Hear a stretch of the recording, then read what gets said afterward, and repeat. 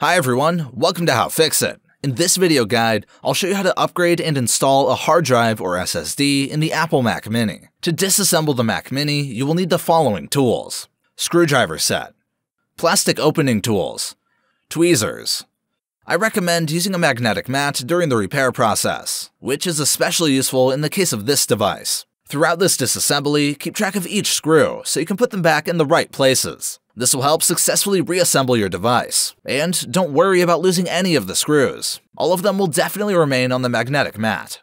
In the description, I left links where to buy all the necessary tools. Turn over the Mac Mini and remove the bottom cover.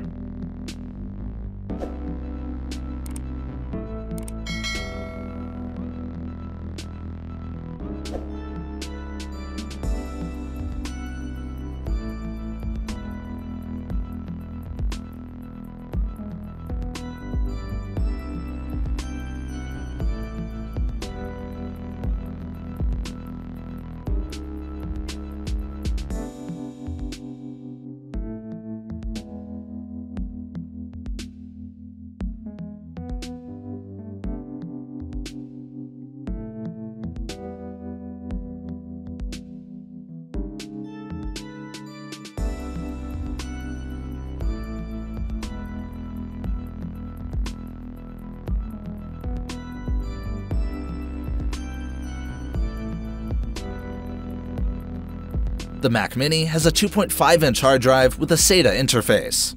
You can install any HDD or SSD drive compatible with the SATA interface. In the description, I left a link where to buy a hard drive or SSD drive to upgrade this Mac Mini.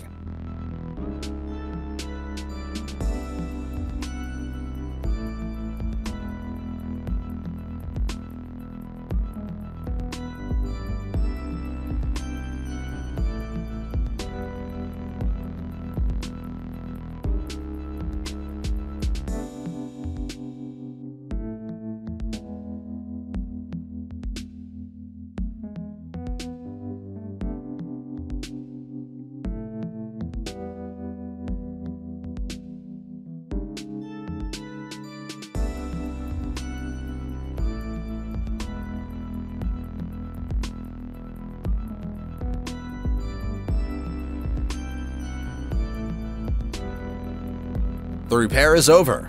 You were on How Fix It, and see you next time.